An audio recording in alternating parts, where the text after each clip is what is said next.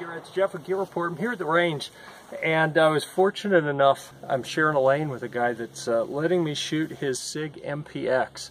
So this is a 9mm, and it has an AAC Ti-Rant S can on the end. Uh, we're shooting some 147 grain subsonic 9mm. Uh, this is a sweet little rig we got here, so let, let's see how it shoots.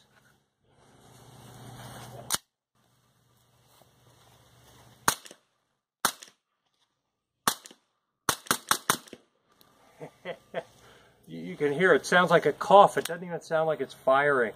And uh, just a little bit of recoil. I think this can really tames that uh, a good bit as well. So really, really nice shooting rig here. I really appreciate the opportunity to give it a bit of a test and share it with uh, the folks there on Gear Report. So. All right, awesome.